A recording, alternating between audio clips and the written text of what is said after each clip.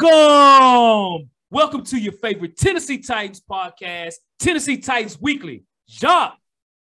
Hawk. Jacques. Hawk. What up, folks? What is good, Titans fans? What is popping besides popcorn? What's good, man? What is happening? Welcome Jacques. back. We Yes, here, sir. brother. Yes, Yes, sir. we We, got, are. we got some things to cover, man. Yes, we do. Yes, we do. Yeah, we back, man. So yeah, we got some things popping in the off season that you you keep hearing about and things that keep rumbling. So it's gonna be pretty an interesting show with that. So Yeah, for sure. definitely, For sure. definitely, definitely. for sure. And for those that have been, you know, listening in on the news, uh, again, the Titans have been in the news. Um, several different caveats, and um, you know, we're gonna definitely talk about that. Even you know, Twitter, Instagram, the news. Mhm. You know, tw- Titans name, their names is flying out there, man. So Man. for sure, man. So first of all, we want to just say, hey, if you have not subscribed to our channel, hit that subscribe button, folks. Hit that subscribe button for sure. Um, you know, check us out again on Twitter, Titans Weekly 24-7, and on Instagram, Tennessee Titans Weekly. Make sure to check us out there as well, too, for sure. Right, right, exactly. Like you said, Titans Twitter, Instagram, Facebook is going crazy. It is, man. so it is. definitely, definitely, dog. It is, Definitely. man. So, Jacques, Yes, so sir. we haven't talked a lot about our free agents, man. Um, Nope, we haven't got, got we haven't had a chance to when it happened. So That's right. That's right, man. So the Titans have signed a few free agents, in particular Bobby Trees, young Bobby Sure. Trees. Well, Robert Woods, aka Bobby Trees. I think that nickname is pretty cool, by the way. Right. And um, the tight end Austin Hooper, you know what I'm saying? Two guys that we signed that will definitely be starters on our offense and things, man. So, man, talk to us, bro. What you think, man? What you think about the free agent signings and just the free agent, just the free agent news and everything that's going on right now with the Titans, man? Um, you know, I know it is they're not popular picks, but they're pitch picks that fit our scheme, right? Yeah. Um, I know the Julio pick was a flag. We we we made a big splash last year. Like last year was the the star splash, right? Right. This year, I think it's the productivity splash. Um, let's we can start with uh, uh Hooper, right? Uh, Hey, you like you said, you seen his his breakout game was with against the Titans what two two years ago Yep. when they played the Titans in the, with the Falcons. His productivity is there. Yeah, when he got to Cleveland, I feel like he didn't really do too much, but it could be the system that he was in, right? Yep. Which nine times out of ten, most of the time, if you don't fit that system, you're not going to be productive. So I like the I like the the pickup of Austin Hooper, and he- he's tight end number one. Be something that we really didn't have last year. Yep. And you can make an argument that it was either scheme, either it was uh, a tied down in. It just so many elements that come into it. But I trust Hooper over what I trust what we had last year with Firkser and, and the tight end room that we had. And then let's talk about Bobby Trees, which is a crazy nickname, right? Yep. uh, Robert Woods. Um, when he was with the Bills, he was dope, right? That's when I seen him. When he was with the Bills, he was amazing. And then, of course, he gets with LA or St. Louis at the time, but LA, man, still amazing. He's used as an in around guy, a gadget guy. You can handle the ball, you can turn the ball over, you can do this. So, it's several different things and factors that you can do with the ball that you definitely, definitely with Robert is amazing. So, he, to me, uh, and, and this can be a controversy thing that I'm about to say, but he's an upgrade over Julio Jones. okay. Facts, no paper. And, and I feel like he's going to be more productive than Julio Jones. Now, I know Julio's hurt. I like, let me say this. I would prefer to have to keep Julio because I feel like you can get that continuity with Julio. And if you would have kept that continuity, you would have been fine. And him and Tannehill could have gathered that relationship and then went from there, right? But I know the price tag is very high when it comes to that. So you Right. got a, a cheaper option, but you got a productive option that you can bring in and say, hey, his productivity, we know day one. Now we know the injury that he has. That's going to play a huge role. And we Titans tend to do that a lot with receivers that we get injured players and bring them in and they don't start in training camp and they they hamstrings and this. So that's my I'm a little concerned with that and how fast he can come back and get that that and getting the rhythm with Tannehill. But I like the signings, man. What about you? Yeah, I like the signings too. Facts, no paper, bro, and everything you stated. Um, it's an upgrade, especially the tight end position with Austin Hooper. Uh, you know, when you look at Firkser last year, I think that was a, a major disappointment for him last year. We just said on our grade show that the tight end group gets an F. And Right. you know, I think they actually probably performed the worst of all the members of our team was the tight end position. So we had no choice but to get a tight end, whether it be through the draft or through free agency. And I really think it's a great pickup. And again, I've seen Austin Hooper play live. Um, one with uh, actually when he was with the Cleveland Browns in Nashville, when they played the Browns here in, in the city, and as well as when the Titans played the Atlanta Falcons. I was at the Falcons game in Atlanta. Austin Hooper had 14 catches.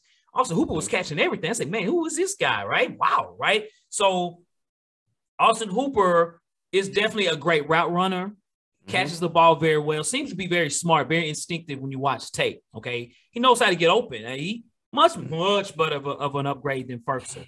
But the one right. thing about Hooper, his issue is that he can't block. He's not a good blocker. Mm. Nor is Firkser either. So yeah, I prefer right. Hooper. But you know, just you know, just just know that Hooper has his struggles in blocking. He's just a big receiver, man. To be honest with you, but um, but right. major upgrade at tight end. Bobby Trees, of course. You know, this guy here has a mentality of a dog. Uh, you know, he helped to create the culture in LA. Like they look at him like as an OG because again, he, he was did. at St. Louis, and he's a LA dude and you know mm-hmm. to come back to LA in an NFL team, I'm sure that made you know made him happy, and he got hit signed a nice contract. Um, but your Cooper Kupp and those guys, you know, he, he was, you know, Todd Gurley, them guys, you know, they was like they really looked up to Bobby Trees, and so, um, right. you know, my hope for Robert Woods is that he will be healthy because he tore his ACL like week 12, so mm-hmm. you know mm-hmm. he hopefully he will heal enough at some point. You know, probably at the beginning, probably not, but at some point he'll be out there for a six round pick. You make right. that trade, you do that. You know what I'm saying? And Robert Woods is a beast, dude. He's yep. as you stated, he can run the ball. There was times he was playing, he was lined up at running back. He was mm-hmm. kind of like Deebo Samuel before Deebo Samuel or Cordarrelle Patterson. He's kind of yep. he's was that dude. He was that at USC as well too. Like Robert Woods is is mm-hmm. very very productive. I even think about the Rams Chiefs game. There was like 80 to 85 or something that was crazy that game. Robert Woods had a hell of a game that game too. So I'm very happy of the free agents that we've signed. I know we've lost some. You know, we've lost Rashaan Evans to the Atlanta Falcons. Jayon Brown to the Raiders, Dane Cruikshank today to the Bears. That's just part of the business. Um, mm-hmm. But you know, if, for what we've added, you know, we've lost Jenkins. He's you know he got cut. He still hadn't been signed yet, and I don't think he will. Not at the price he wants, but the guys that we've added so far has been pretty good. You've mentioned it's a hell of a point, Jacques. Shout out to you. Is we're not making big splashes, and this is one reason why because we still got to pay some folks. We got to pay Arthur Juan Brown and Jeffrey Simmons. So I think they're just holding that money, that cap money, just holding it for next the next year, not this year, but the next year. So yeah, man. Yep. That's facts, man. Facts, no man. paper, man. Great points. For sure. For um, sure. so we're gonna get in our next segment. And this became a big deal, right? On Twitter, it blew up, man, and it, it was something. The AJ Brown quote unquote news slash trade rumors, right? Yep.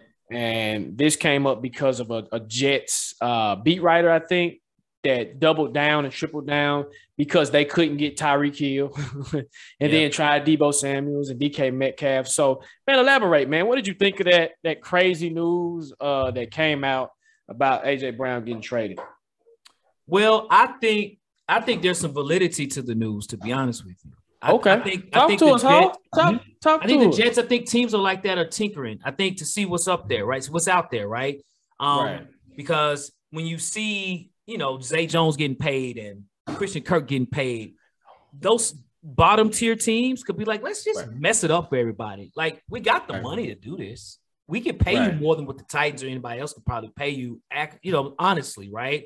Mm-hmm. Though you, you live in New York, cost of living is much more. You know, mm-hmm. three million dollar home in Nashville is probably eight million in New York. Just you know, those things should be considered too. But right. I do think that not to say AJ Brown, he's now he's stirring it up, but you know, receivers are those receivers, that class, receiving class, Deebo Samuel, DK Metcalf, AJ Brown, that's mm-hmm. a great class. That's a great class. And it I think, you know, these teams are using this as leverage to say, let's just stir it up a little bit, right? Get these players uncomfortable to say, hey, the next year we got the money. We're in New York. We got the money. And the question is, uh, man, about AJ Brown, about that contract. So mm-hmm. we want to sign AJ Brown for sure, right? For sure. Right. I mean, 100%. Right. You pay the man for sure, right? And he'll make right. more than what he's making now. There's no question about that. But the question becomes, what type of contract do you sign him to? Is he Davante Adams, the hop level? Stefon Diggs level? I don't think so. I don't think he's up there yet, y'all. Okay. Numbers speak to that. His mm-hmm. his catch his catch percentages are like in the 60% range, right? What I mean is when the ball is in his area, you know when he catches the ball, he's amazing. Like his rack yards is un, maybe the best in the league. Him and probably Deebo Samuel, they're probably one and two in that regard. Catch the ball, break tackles, gone for a touchdown. But there's a lot of drops, and there's a lot of reasons why the ball does not get caught in, in his area for some reason. Mm-hmm. And for him to get that type of contract, he's going to have to step it up this year. Mm-hmm. He had 68 catches last year and like 800 like something yards. So for this year, he come out 100 catches, 1300 yards receiving, eight or nine to 10 touchdowns. AJ Brown could really start talking like, look, I, I might want that Davante money. I'm younger. I'm about to re- reach my prime. And or the expect he should ask for that because hey, why not? See what the market says, right? And then if anything, all you can do is I'm, I'm in sales. The best thing to do is go for the go for the stars and hope for the moon, as they say, right? So you get that, and that's cool, right? But you know, I don't think anybody would pay him up to that that salary, but I do think, oh, he definitely will get some competition out there from from his contract if he does what I just advised. Now mm-hmm. next year, if he plays 13 games, it gets maybe 70 catches, 900 yards, maybe six touchdowns or whatever, and you know, don't play every game, gets hurt a lot of things like that, then you know, he should still get paid, but he can't be walking in like with a hat on talking about almost some of that that D Hop money, almost some of that Cooper Kupp money, right? It, it, that that soon to be Justin Jefferson money, maybe soon to be three years down the road Ja'Marr Chase money. So mm-hmm. AJ Brown has to ball out this year. Right. Cannot ask for Davante Adams money. And I know Titan fans might think opposite. All I ask you to do, look at the numbers. It's a, mm. a, a, a, contrasting uh, comparison for sure. And I want AJ Brown, Jacques. You know I'm a big AJ Brown fan. You are too. Right. AJ's one of the best receivers we've ever had. He's only been here for three seasons. But right. you know, we got we, we, we talking money and we talking contracts. I think the Titans will pay him for sure. But how much? Right. Adams right. money or Deebo, Sam Deebo Samuels right now, he's pissed off. Mm-hmm. He's removed his name and everything off the 49ers stuff on Instagram and everything. These mm-hmm. these players do have some leverage like the NBA. They really do. Right. right. It depends on who will pay them. If New York is willing to do it, if I'm AJ Brown, they want to pay me, you know, 20 million a year, and the Titans want to 16 million. Mm-hmm. He might want to go to New York. Hopefully that's not the case. What's your thoughts on this, Jacques? Um, the well, first off, the, the trade rumor, I believe it, it is true from the Jets' perspective, where I think they did give the house to the Titans, and the Titans, of course, right now can't afford to let AJ Brown go because if you do let him go, you don't have a number one receiver, and Bobby Trees is hurt right now, right? Right. And Marcus Johnson just signed with the San Francisco 49ers. So Thanks. right now the receiving room is looking looking super thin, and it's it's like thin as this paper, right? Yeah. So um, that part, and then even with the contract piece, when you think of AJ, you want to think of a complete receiver, right? Which AJ, yep. he's getting there. He's learning, right? Yep. I think one of the best games I've seen him play, and he's played some, man, he's had some hell of a games, man. But I think his best game that to me solidified him as a all around receiver. When we say all around receiver, you catch high, low, mid, high, mid, low, right? Yep. You you get the contested catches. You're catching 10, 11, 12 balls a game. I mean, a game, right? Yep. That's Davante Adams, right? That's Mike Evans. That's D Hop. Those are those type of receivers, right? And we grew up in an era of football where we've seen the greats, Larry Fitzgerald, Jerry Rice, and Tim Brown, uh, Randy Moss. We grew up to look actually have a time to look at great receivers that should have got paid what these receivers are getting paid now, but we know how the market is. But when you think of the contract, uh, Vrabel did iterate that he, as long as he's there, he's not getting traded, right? Yep. Now, will the Titans have the money to pay him what he wants to get paid? Is he worth 16, 17, 18, almost 20 million dollars a year? Right? The yeah. value of receiver has gone up so tremendously. It's almost, it's, it's actually insane. Thank you, Jacksonville, right? Jacksonville messed the market up. The typical thing that Jacksonville does, they tend to mess up everything they touch. And you're going to go sign Christian Kirk. So, like you said, we had an offline discussion, and Hawk was saying, man, uh, AJ Brown's doing this. He said, man, we're going to have to give this man the franchise the way how much money and how emotional that AJ Brown is on Twitter. AJ, AJ sees these things, right? AJ's paying attention. AJ no. So if if let me say this, it'll also dictate. it'll tell me a lot when what they do in the draft. And I know we're not in the draft talks right now, even though it's draft season. And guys, we'll get there. But just a small thing, I'm gonna give you a, a little taste real quick. If the Titans get like a Treylon Burks, but I, I don't think he's gonna fall to the Titans. But if he happens to get him, he's AJ Brown, Deebo Samuels, and uh, uh, uh, just mixed together. If them two had a baby, you got Treylon Burks, right? that like straight up, yeah. like that's what you get. So if you get him, that tells me that the Titans are looking like I don't know London Drake as well. The Titans are looking like well, kind of, and if they perform too, hi, we ain't gotta pay you this much. We gonna give this is what we gonna give you. If you don't take it, then boom, because you still got to pay Jeffrey Simmons, right? And yeah. honestly, I think that's the most important thing. And I'm not saying it, it, sounds crazy what I'm saying. Jeffrey is a, is a is a once in a lifetime player, right? Yep. He's a once in a generational talent. He's almost like Aaron Donald. Right. And he's just going, he's just as age gets there, he's just gonna keep getting better and better and better and better. We got to pay him too. Yep, that's right. So do you think it's not fair to him? that that we shining the light on AJ, but we're not looking at that that at, at Jeffrey Simmons as well. So you got to take that in in, in in in equation. So if AJ really wants to win and win a champ, right? He can say, "Well, guys, I'll take this, and we can ride and we can ride this ship." But if he, only thing if he if he wants the money, which I got to know, he got to feed his family. Titans might not pay him that much, so he might go to the Jets. Elijah Moore is his best, one of his good friends, so it wouldn't surprise. Let me say this: if he, if at the end of the season they couldn't get a contract going, it wouldn't surprise me. But I think they will give him the money that he wants because case in point, look at Harold Landry. Yep. You see what I'm saying? Yep. So the Titans are known for rewarding their players that do great things, right? So as long as AJ comes out this year and he shows out, you good. Yep. He got you, man. You like right. you said, 1,300 yards, 102, 103 catches, bro you got your money. You got but, your money, bro. Hey, but I'm gonna say this: what I need to see with him, I need to see him one be to have a healthy season. Okay, I know that's that's hard to do. Two, when it's time to take over games, and I know it's hard to say because we do got Tannehill at quarterback. But two, when it's time to take over games, and it's time to say, "Hey, AJ, we don't need you to drop balls in key moments, right?" Yep. When it's time to take over this game, we're playing the Houston Texans in the rain, and all the receivers are hurt. You're my number one receiver. You're supposed to perform, right? So when it's time to step up, if he can do that, then pay the man. But I know Titans fan base feels indifferent, and they look at the body of work, which I'm not discrediting his body of work. Yeah. But I'm like with you, Davante Adams money, or we pay you here, right? Yep. The middle tier. But if you're in the 60 percentile, I don't know, bro. So, and, and also I'd say this, I'll say this too. He is a franchise receiver, right? For sure. So with him being a franchise receiver, the Titans can't let him go. They gotta pay him. So I ultimately think he'll get what he wants because of the the the thing that happened with Harold Landry. It's just how much he wants. And then all these other receivers like Tyreek Hill getting paid. Um, Davante Adams went to the Raiders. I mean, these receivers are getting crazy, crazy, crazy contracts. I've never seen nothing like it. The Rams playing Madden. The Rams ain't got no. Their salary cap is off. If you ever play Madden, you can turn your salary cap off. they, they they salary cap is all the way off. So yeah, that's my thoughts on it, bro.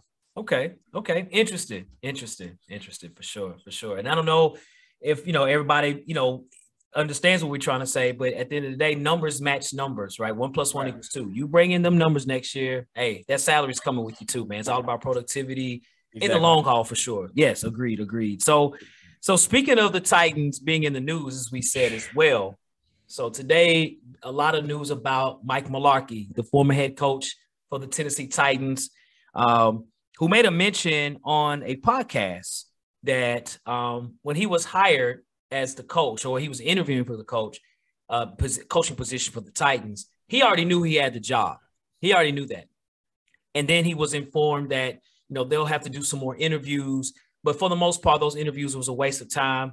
And it was really based on the Art Rooney rule. For those who don't know, is the opportunity to interview African American coaches in every team, you know, to at least interview one. I, and I think it's one. Uh, and, you know, the Titans had to do that, you know, at that time and you know Mike Mularkey, who you know was let go. I'm sure he has some some, some harsh things to say about the Titans. He let it he let it go today. He said he thought it was trash, and uh, so Jacques. I mean, you know, what do you think? I mean, it's Ray Ray Horton's claim. Um, you know, upon this, Uh, Steve Wilks is also a part of that as well as this new claim with Brian Flores. They're going to be part of this uh, this lawsuit. So what do you think, man? so we we we never talk about stuff like this on our on our podcast, right? On the channel. We just don't. But when it hits your backyard, you have no choice but to talk about it, right? And I I I believe it.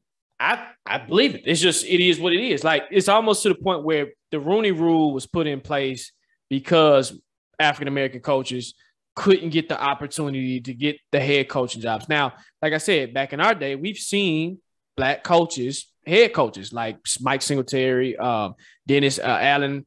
Um, it was a couple of more too, man, that's out there, but just not too many, right? It's a small percentage. And the talent that you got out there, I can make an argument from uh, Eric Bieniemy from um, the, the Chiefs.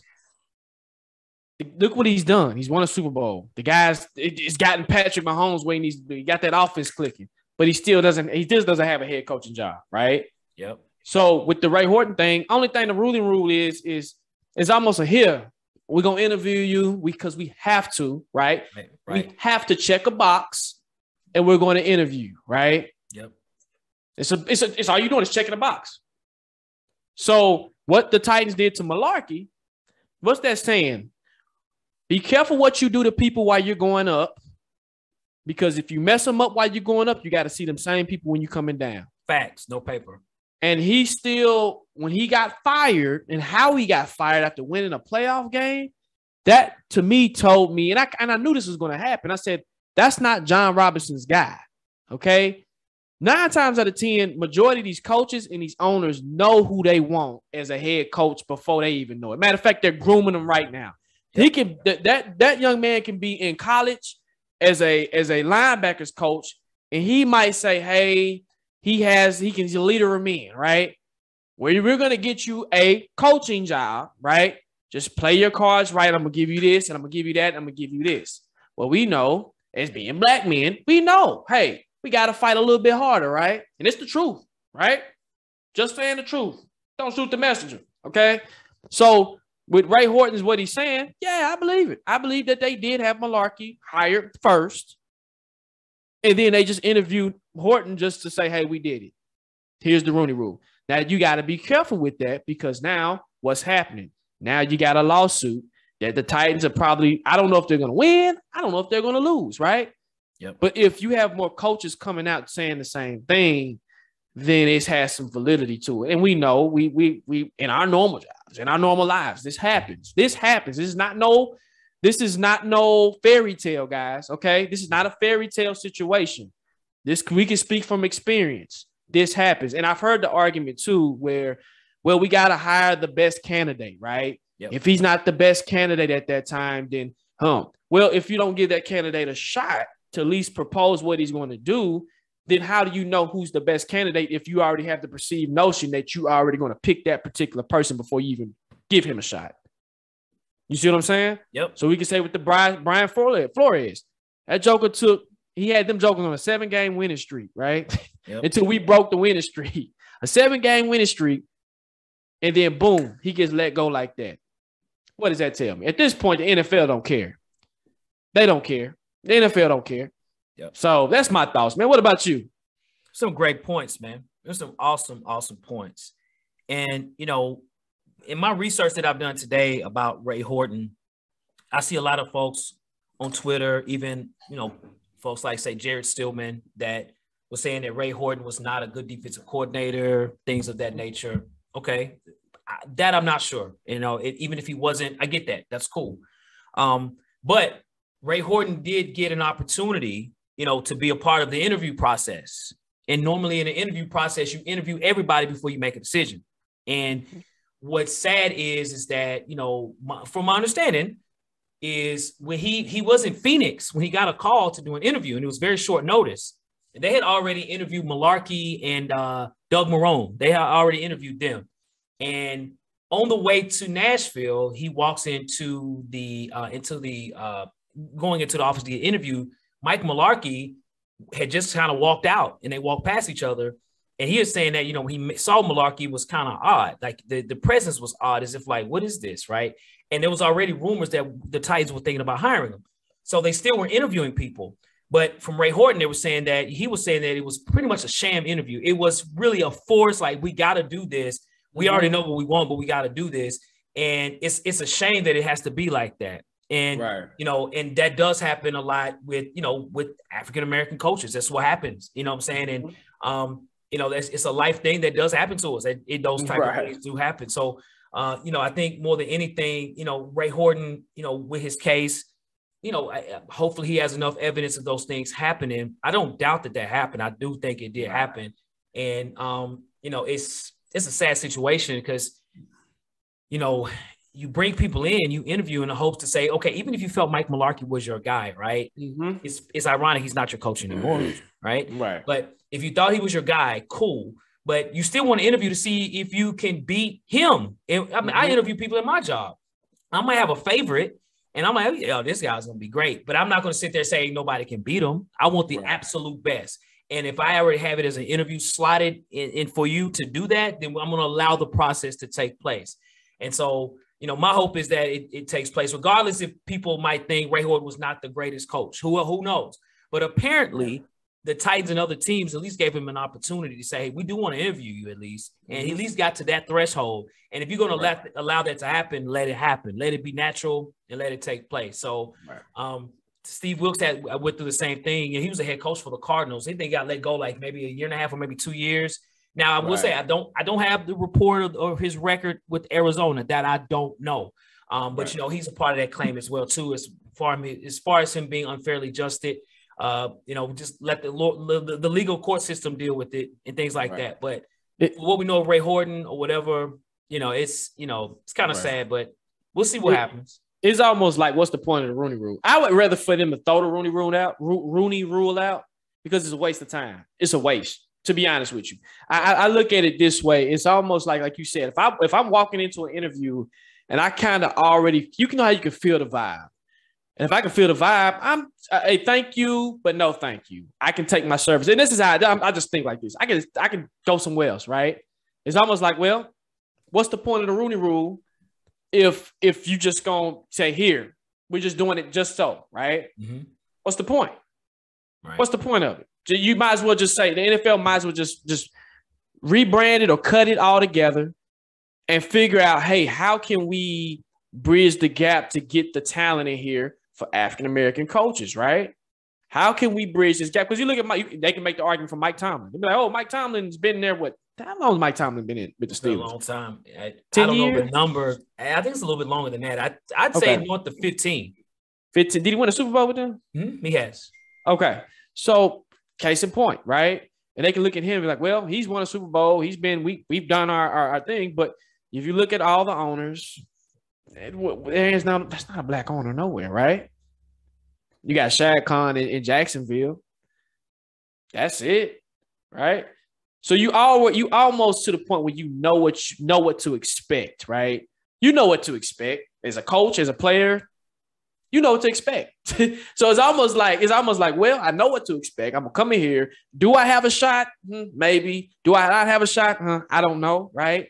So I, I, I treat the, let me say this. I treat the NFL almost players got to treat the NFL like a business. And I understand when players and even coaches comes with the highest price tag that they can, right? Yep. Because it's almost like the NFL is going to spit you up and it's going to chew you out. So you got to treat that as if, right?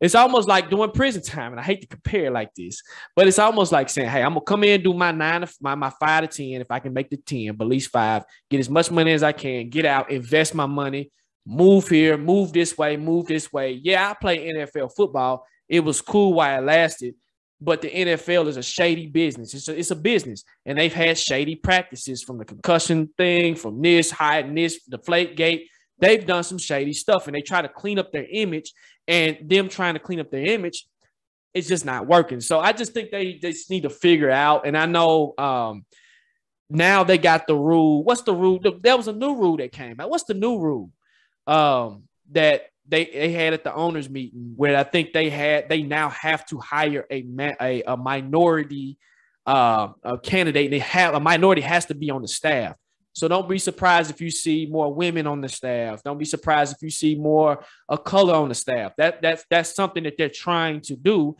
But I don't want to be the pity hire, if that makes sense, right? Hire me for my talents. And I case in point, Eric Bieniemy. That man is talented. Why does he have a head coaching job? I've heard well, he doesn't interview very well. Well, his work speaks for, right? Mm-hmm. Look at it, look at his body of work. So that's my thoughts, bro. I got you.